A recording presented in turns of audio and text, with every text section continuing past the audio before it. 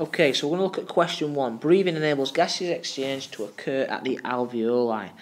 Outline how two features, okay, so two features, so you can outline two features of the alveoli assist, help with the gaseous exchange process. So basically what it's saying is what two good things does the alveoli have which supports with gaseous exchange. As you know, gaseous exchange, gaseous exchange is where oxygen comes uh, into the body and gets diffusers from the alveoli into the bloodstream and to wherever's needed within the body. And then the second part of that process is where carbon dioxide comes from the bloodstream, diffuses into the alveoli, and then out of the body. So two key areas here. Firstly, the alveoli has a large surface area which is made up of only one cell. Now, the purpose of that one cell, or the benefit of that one cell, allows diffusion to occur very, very easy. So the oxygen and carbon dioxide can go from the alveoli into the bloodstream very, very easy.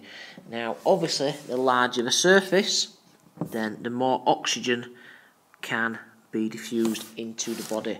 So if we're looking at that as a sporting context, okay, so if you've got a lot of alveoli, you've got a large surface area, then more oxygen can get into your body, which you can therefore use. Secondly, okay, we've got lots of capillaries around the alveoli. Now, the purpose of capillaries, or the role of capillaries, or the good thing about capillaries, are they allow the diffusion to occur very, very easy. Reason being, again, the process, the makeup of the capillaries allows that diffusion to occur. Now, I'm just going to show you a picture of the gas exchange taking place, which will support what I'm now speaking about. Now, as you can see here, as you can see if I blow up a little bit. Okay now I highlight a few things.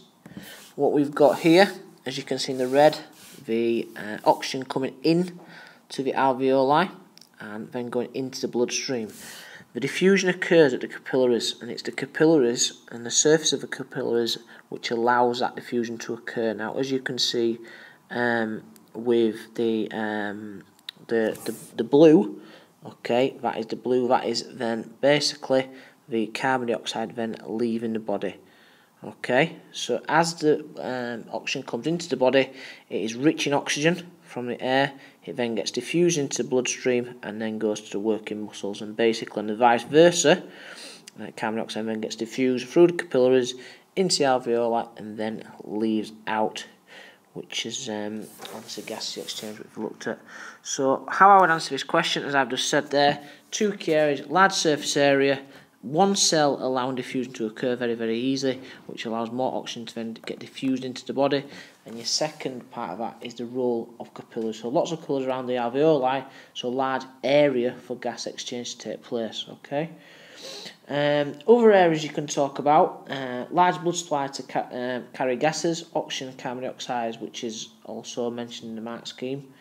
You can also mention about movement of gas from high concentration to low concentration, means there is pressure gradient which allows diffusion to occur. So basically diffusion occurs due to the differences in concentration pressure.